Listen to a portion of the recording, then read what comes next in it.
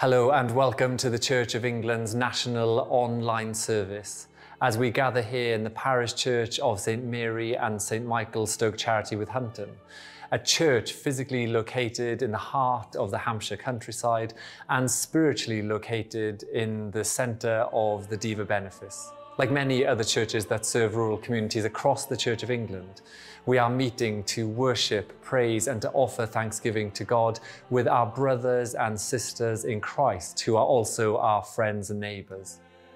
We are a church community, a series of church communities that seek to share the good news of Jesus Christ where we live, through prayer and faithfully through practical action each Sunday in our parish churches across the benefice, like this one here, with St James Hunton, and from St James Woodmancott to Holy Trinity Wonston, and in St Margaret's All Saints, and at St Mary the Virgin Micheldever, we will gather in tens, twenties, and thirties. And in times of joyful celebration, we will gather in our hundreds. Our parish churches are places of prayer for the passerby and for the pilgrim.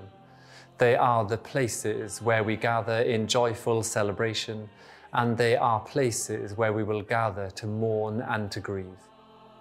Our parish churches are where we gather for fellowship and where we come to bless the land, to thank God for the farmer and all the people who work the land. And it is here where we come to thank God for the harvest. But above all, above all of these things, these churches, this church, is a house of prayer.